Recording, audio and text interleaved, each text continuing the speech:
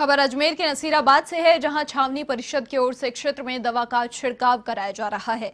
छावनी परिषद के अधिशासी अधिकारी अरविंद नेमा ने यह बताया कि कस्बे में कोरोना संक्रमण को रोकने के लिए हर संभव प्रयास किए जा रहे हैं। इसके लिए घर घर दवा का छिड़काव भी करवाया जा रहा है।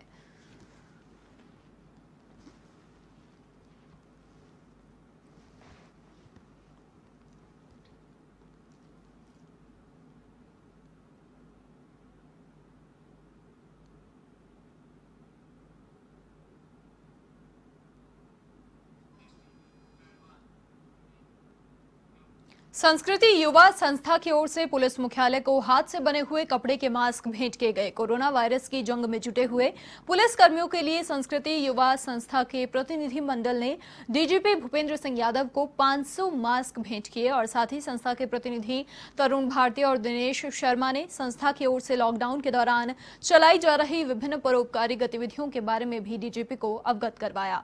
तरुण भारती ने यह बताया कि वो अब तक करीब पचास मास्क पुलिस कर्मियों और साथ ही कोरोना वायरस की जंग में जुटे हुए अन्य लोगों को बांट चुके हैं और इसी के साथ गरीब असहाय लोगों तक खाना लगातार पहुँचाया जा रहा है। डीजीपी भूपेंद्र सिंह ने संस्था के पदाधिकारियों की तारीफ़ करते हुए उनके द्वारा किए जा रहे सराहनीय कार्यों की सराहना की।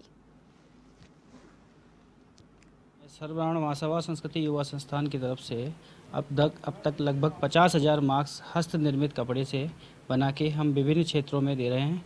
हमने आज श्रीमान डीजीपी साहब को भेंट की है।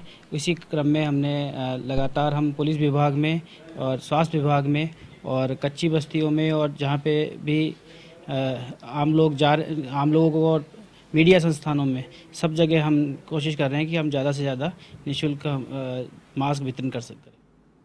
और इसी के साथ इस बुलेटिन में फ़िलहाल के लिए इतना ही। देश और दुनिया